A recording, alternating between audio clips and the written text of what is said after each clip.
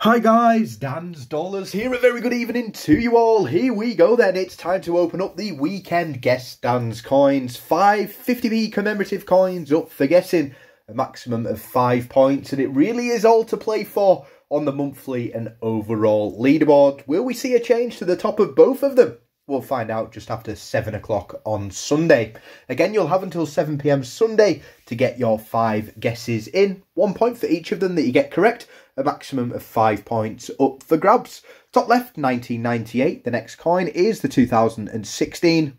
Yeah, you thought I was going to tell you. Unfortunately, I am not. On the right, this commemorative 50p is from the year 2000 bottom left 2018 and we've also got a 2020 commemorative 50p coin as well. Unfortunately no clues in this one and it is going to be another hard round indeed. Two or three of the coins maybe a little bit easier to guess than some of the others especially one of them.